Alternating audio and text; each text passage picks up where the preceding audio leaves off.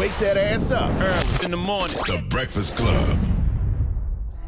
Morning, everybody. It's DJ Envy, Charlamagne the Guy. We are the Breakfast Club. Jess Hilarious is here. She's Hey, back. Hey. And let's get in some front page news. Good morning, Tez.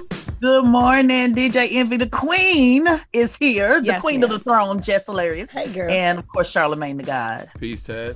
Good morning. Let's jump right into it. Uh, Biden. He, he, he, yesterday he went to Israel, right?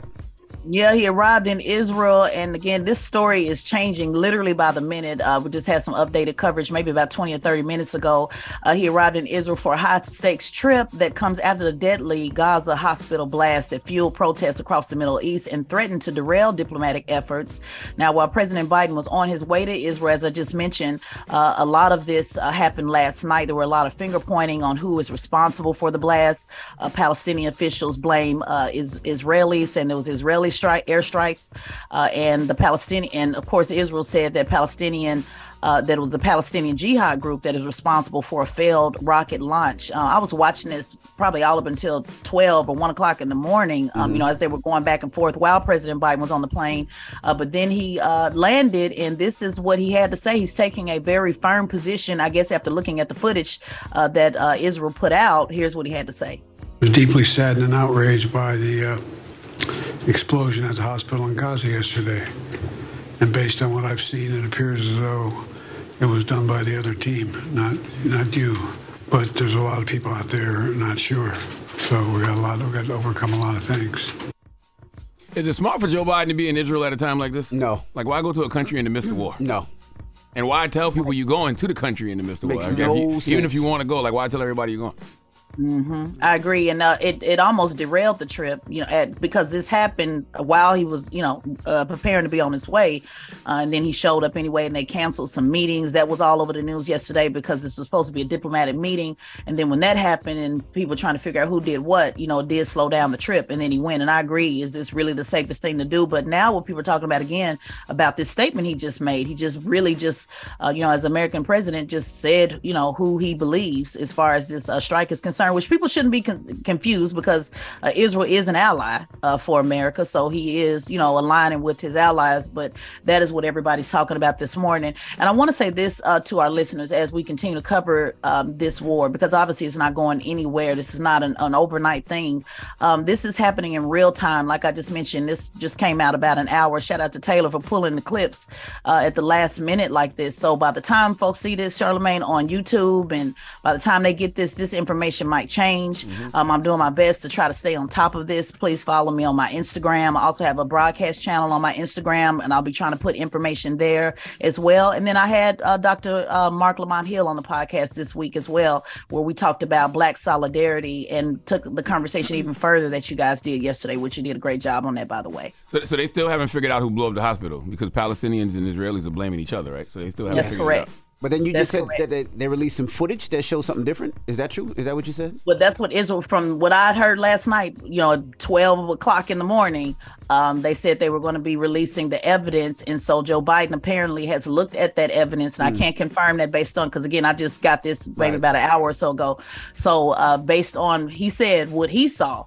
Uh, he believes is for the other team, but then you heard him say at the end, a lot of people disagree with that. So I, I can't say for sure Right. if he What saw a- it and, didn't see- and what that looks like. What a confusing statement from the president of the United States of America. Right, Like, right. like, like, why speak on it if that's what the best you got? I can make a statement like that.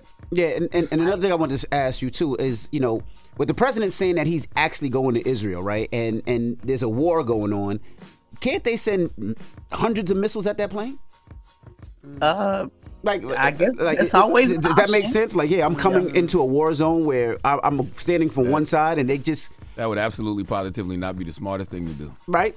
They would would- they would take that country off the map if they if they shot at the president of the United States. You think they America. care? Uh, they probably don't care, but You, boy, you know what I mean? Like, Yeah, they do, do they care? care, but he he's well protected in the air. You can rest assured that. Shout out to my United States Air Force uh, I in know the that's building. right, But- Yeah, Yeah, big shout out to that's right. Yeah, big flex. I am United States Air Force, but um, yeah. So yeah, no, they, they wouldn't make it. I, I can assure you that. Man. Like, Charlamagne's right about that. They'll they'll take you off the map. So, but it's still not the wisest thing to do. You know, I don't. You really don't really need the president of the United States. But again, he has to go to show solidarity. I mean, there is a strong, Yeah. uh, obviously strong uh, solidarity with Israel, as you He could have uh, definitely did a He zoom. could have did a Zoom. Zoom.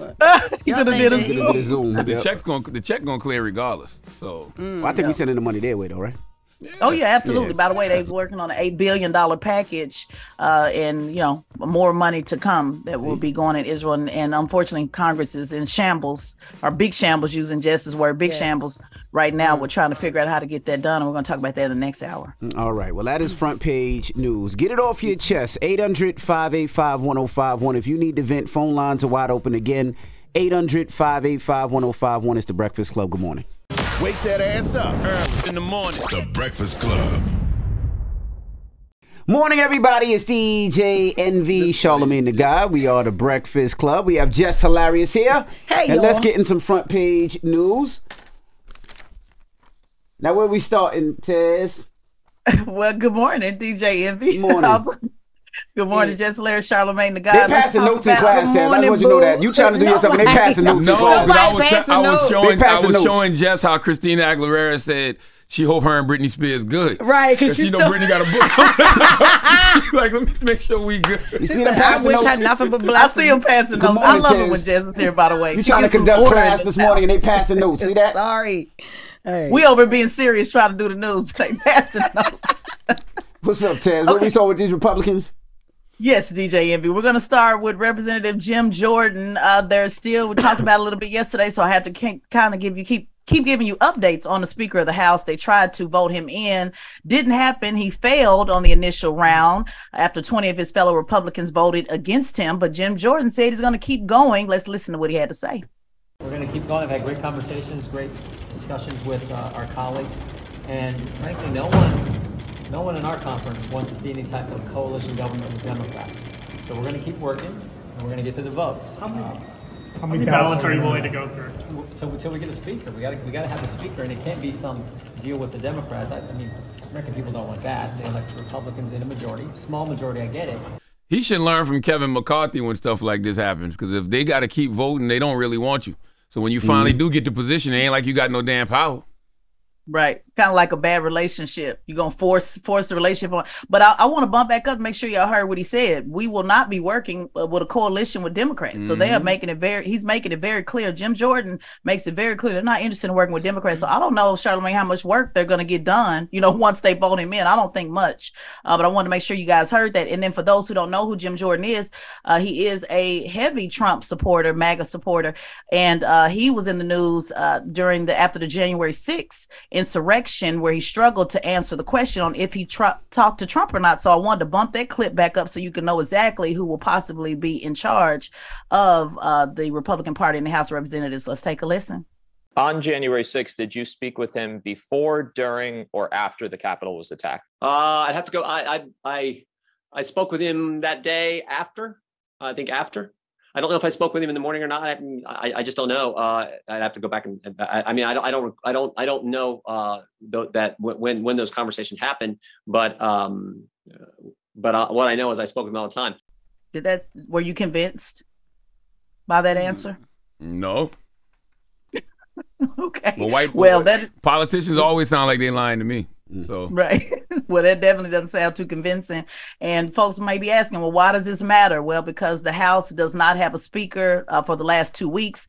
They ousted Kevin McCarthy, which was historic, did not have a uh, backup plan. And again, we have major things going on. We're in the middle of a government funding deadline that will happen in November. Obviously, there's still crisis in Ukraine. Now we have the war in Israel with Hamas. And again, Republicans can't figure out who should lead their party. It's so interesting that, you know, we're telling the world how to um, handle their business, but yet literally they cannot decide on who would uh, who should be in charge of the Republican Party, which has a majority of Congress, by the way, which is uh, quite embarrassing in my opinion. All right. So another vote is scheduled today at 11 a.m. and we'll see how that goes. All right. Well, let's jump right to Las Vegas. What happened in Las Vegas? Yeah, I don't know if this belongs in Donkey of the Day, uh, but it is, Mm-hmm. it is some news that I thought you guys may want to know. A Las Vegas police officer gets 12 years in prison for robbing casinos. Uh, he was sentenced Tuesday to 12 years in federal prison for stealing over $165,000 in a trio of casino heists, including one where he was found guilty of brandishing a department issued weapon. So just so in case you didn't hear that, he used his police weapon to rob a casino. Uh, Caleb Ro- Rogers is his name, and he has been on unpaid suspension while they try to figure out, you know, what they should do, which is, I think, that's quite odd. Uh, it's been nearly 20 months that he's been on unpaid suspension. He did apologize after the sentencing. He said he understands his mistakes, and the judge said uh, that he understood that he had a gambling addiction and financial troubles, and the judge appeared to be kind of sympathetic by saying he credited him with his service to community, but you know, still gave him that time. So I thought that was an interesting story. You don't really hear about police officers robbing, you know, getting they set it off on, but this police officer did. That is that reminds me of dead presidents, but that is crazy. like, cause how, how did he even get caught though? Like how? Yeah. He robbed one casino for seventy three thousand. Then he did a second one for thirty thousand. And he said, "Let me keep going." He did another one for eleven thousand, and he was caught on the fourth one. He shoved a sixty year old woman out the way. Uh, put about eighty bag uh, 80,000 in his bag and then when he ran out he was tackled by the the guards and his wig flipped off literally this is what they said in the article his wig flipped off went flying in the air uh, and then they were able to recover the money and that's how he got caught Uh, But I like how they put that little. He shoved the sixty year old lady. He, he ain't do nothing. He just pushed her over probably a little bit. That is so funny. A sixty is not even that old. 60 ain't old He at said, uh, all. He shoved the sixty year old woman out the way. i like how they put that that his wig went flying in the air right, They- they right. made sure- What race is it? Yeah, What guess race what is race he? it is. yeah guess what yeah want to play a game guys Please, Definitely white. please.